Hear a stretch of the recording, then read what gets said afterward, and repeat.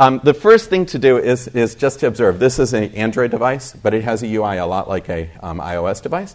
It's called an, we call this an app centric UI because what do you want to do? You want to press on the square for the icon you want. So if you look here on the device, the first two rows have badged apps, and the bottom rows have personal apps that are unbadged.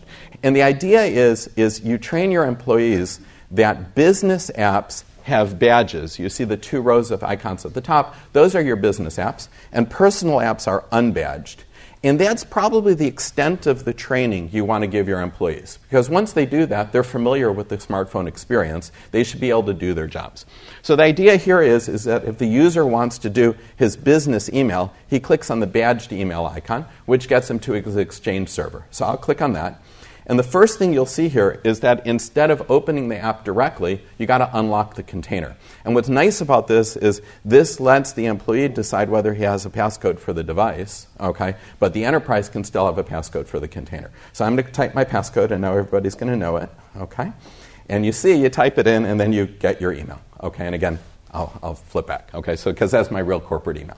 But what's important here is the employee experience is really simple. All you needed to learn was a badge on an app is a business app, and then the app functions in the normal way. So email, contacts, and calendar, those are the normal exchange PIM functions that the Android device ships with, and the same thing would happen on iOS.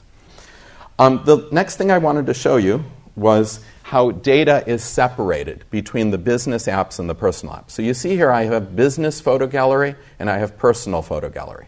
If I click on the business photo gallery, you'll see one picture, okay, or two pictures, right? One of these was taken at the bar at the hotel last night. If I click on the personal photo gallery, you'll see a different set of pictures. Okay? And why is that? It's because these apps should truly be separate. If the doctor takes pictures in the hospital, they should be kept separate than the pictures you take at your kid's soccer game. Okay?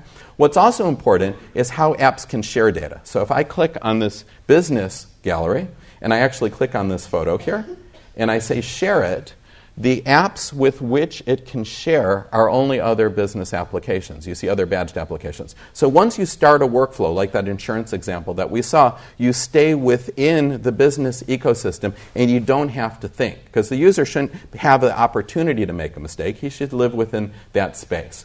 I'm going to show you one last thing the use of the VPN. So, for instance, you see here two Chrome browsers. One could be used to browse the corporate intranet over the VPN, and the other one could be used to browse public internet, okay, for personal use. The browsing the public internet is goes direct and is not logged as private, okay. Browsing the corporate one should go through the enterprise filters. Um, this will be a little bit techy here. I'm sorry. Um, what I'll do here is I'll do what is my IP address.